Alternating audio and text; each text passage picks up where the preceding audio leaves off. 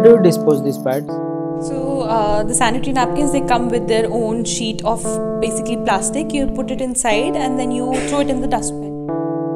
Do you know what is it made of? Uh, I guess cotton. It's made of plastic. Oh really? Okay, I didn't know that. Do you know it contains dioxin?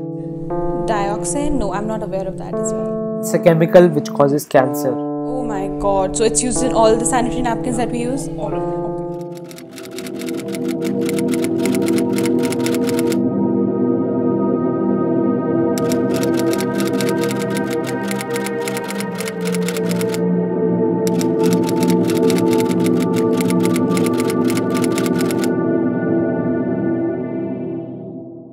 In India, more than 30 crore women are in the reproductive age group, out of which only 12% can afford disposable sanitary napkins.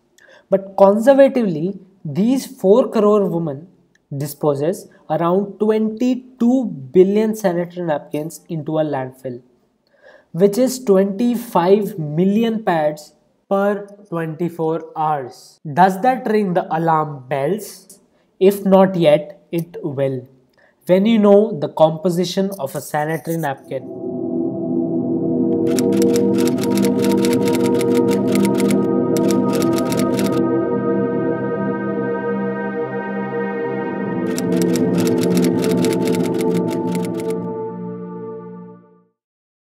Very few people know what's inside a sanitary napkin or a diaper. Modern sanitary pads are primarily plastic and even have a potentially toxic chemical, dioxin.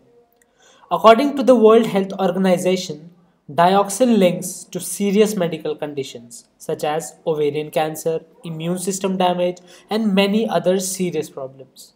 The reason for this is only and only the use of plastic content in these diapers.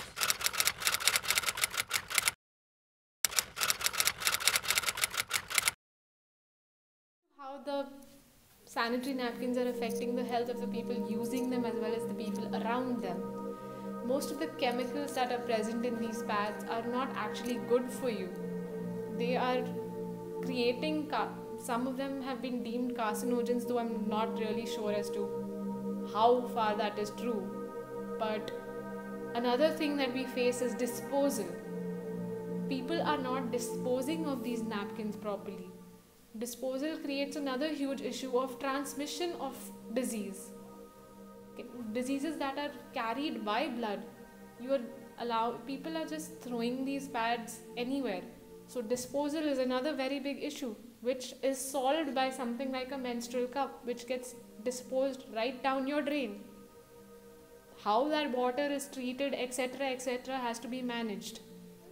Uh, apart from the problem of infections and the chemicals in the pad not being good they're just not comfortable. They don't allow you to do a lot many things. Girls cannot are told not to play sports on the day because they're scared of staining. They're scared of being um, in a way ridiculed for something that is completely natural